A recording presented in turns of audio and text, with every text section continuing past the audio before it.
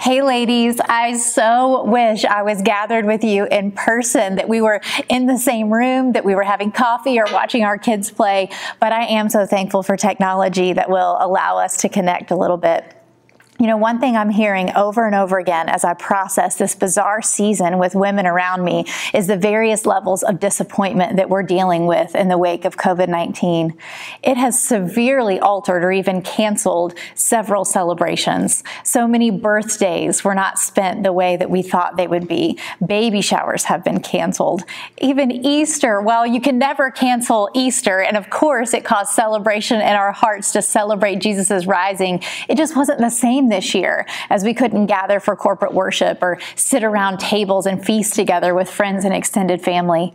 I know so many of you have expressed that work events for which you've been, you've put in hours of planning and prep have been canceled. Uh, some vacations that you were so looking forward to have been canceled. Some of us have lost our jobs or been furloughed for a time.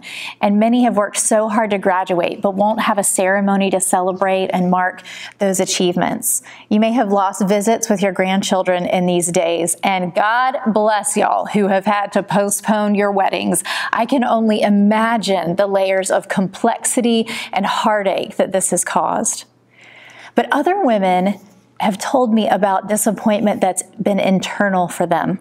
Some of us are disappointed in our own response to this new life we're living. We're disappointed that we don't have more patience or grace or capacity to do what we need to in this time.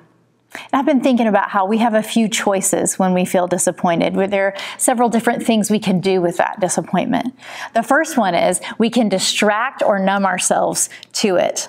There are a few really accessible drugs of choice right now, um, a few being social media or Netflix and food. Screens are such a readily available place to ease the discomfort we feel internally about this whole mess. Immersing ourselves in someone else's story for a time allows us to momentarily forget the pain we feel. But when we turn off those screens, or when we put down that phone, we're faced with our own sadness again. I'm sure we've all recognized that the pantry and the refrigerator are our constant companions while we're home all day. And I don't fully understand the connection between cravings and our emotional life, but I have had so many moments of feeling like maybe just one more snack, or even better, more of those baked goods will help me feel grounded and settled right now. Clearly, unneeded food fills our stomachs, but it leaves me feeling more empty every time. Another option we have is to just give in to our disappointment and allow its voice to become authoritative in our hearts. See, it's, it's one thing to feel disappointed. Clearly, we all do at times, but it's another thing to allow that disappointment to call the shots, to allow its voice to be louder than the promises of God.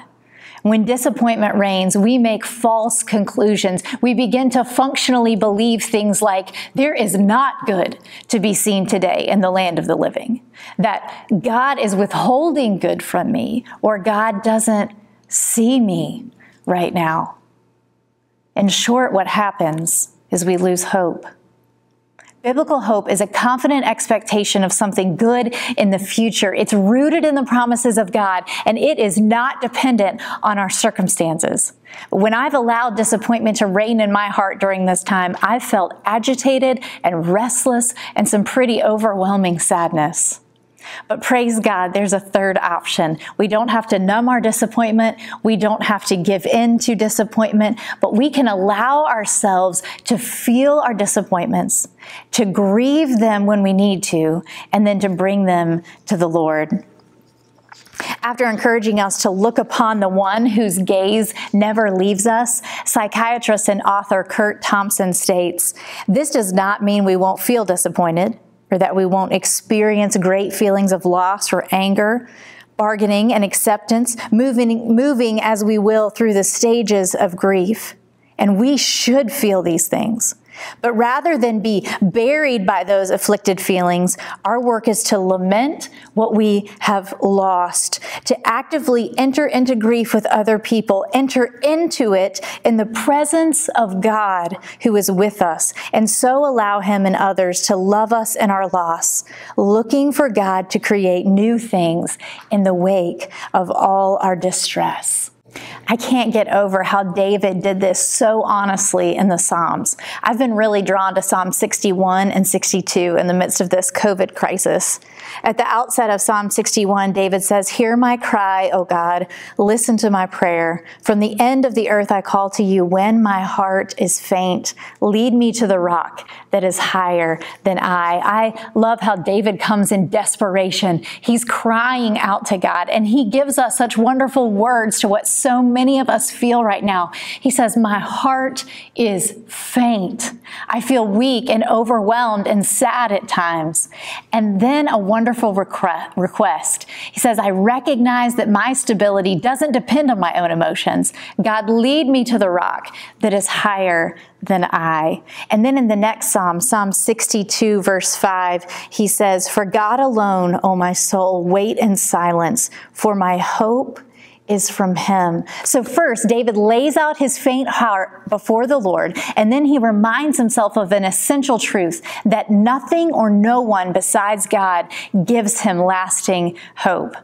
In our present context, this pause of expectation in the presence of God recognizes that our hope doesn't come from a full social calendar or shopping trips whenever we'd like or the freedom of making plans for the coming days or even in health in this life.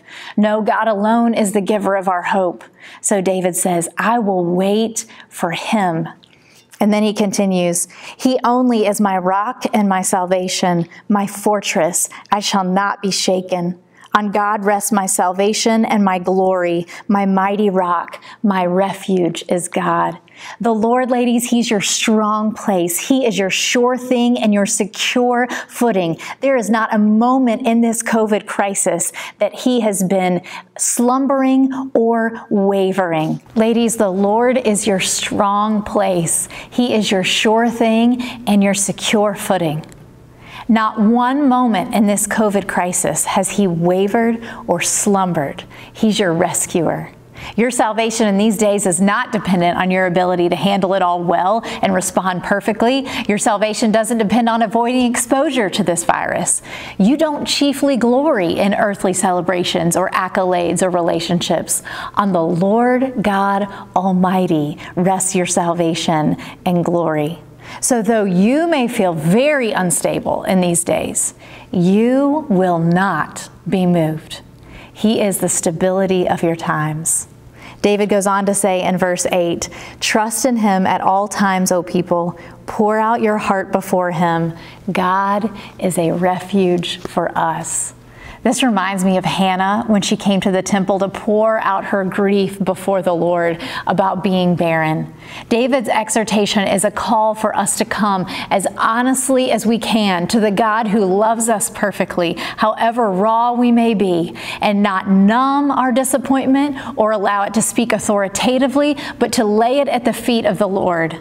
And there we find refuge, we find comfort, safety, covering and stability in the goodness of God's very presence. So let's move toward the Lord in our disappointments and grief. In His presence and by His grace, He moves us through disappointment and into hope.